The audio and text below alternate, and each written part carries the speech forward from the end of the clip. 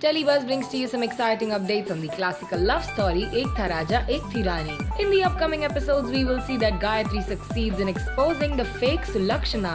Yes, guys, you've heard that right. Ranaji calls doctor to treat Gayatri's mental health and they also try to give her shock treatment. Gayatri tries to escape from them but Ranaji comes in the middle. Gayatri then asks Ranaji to pull off the mask Sulakshana is wearing. He does the same and gets shocked to see some other person in Sulakshana's attire. So guys, what do you think will happen now? Share your thoughts in the comments section below and let us know. Hit the like button for Ek Tha Raja Ek Thi Rani and subscribe to Telebuzz for more daily television updates.